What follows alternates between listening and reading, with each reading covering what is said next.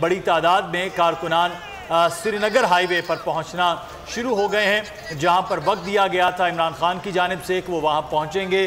तो उससे पहले कारकुनान जो है, वो वहाँ पहुँचना शुरू हुए, लेकिन साथ ही आँसू गैस के शेल फेंके जा रहे हैं और जो वहाँ पर कैदी वैन है, वो भी बुला ली गई थी। तो मनाजिर श्रीनगर हाईवे के भी आपको कुछ देर पहले दिखाए, ये मोटरवेज़ के मनाजिर हैं जो आप देख रहे हैं कि रास्ते खोलने की कोशिश की जा रही है, मट्टी के ढेर लगा दिए गए कंटेनर्स खड़े कर दिए गए, उनको खोला जाना और वहाँ से आगे जाना, ये असल मामला होगा।